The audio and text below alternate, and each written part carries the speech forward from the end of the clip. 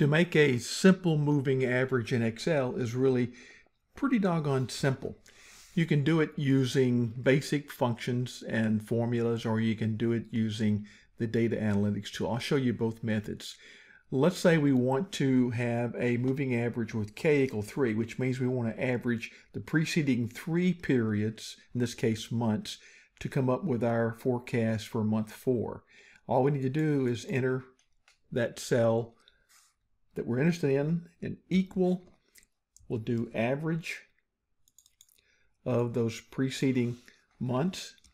Hit enter, and so that's our forecast for month 4. And of course, we can drag this down our column to get the rest of our forecasts. You can also use the data analytics tool pack to create a moving average. And it's easy to do. There's only one tricky part, and I'll show you what that is. We're going to go through data, data analysis, bring up the dialog box, find moving average, and open it up. So we've got our dialog box. We need our input range. I'm going to delete that out of there and that's going to be our Y values, our forecast, or actual values we want to forecast. Make sure you're consistent. I don't have labels this time. I'm not going to check that. And I want K equal 3, which is what we're working on. The tricky part is where to put the output in order to have it comparable.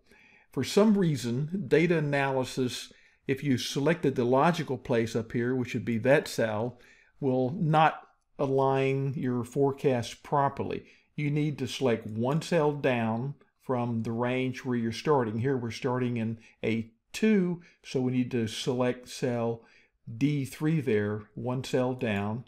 And I'm going to go ahead and get the chart output just for the heck of it and click OK.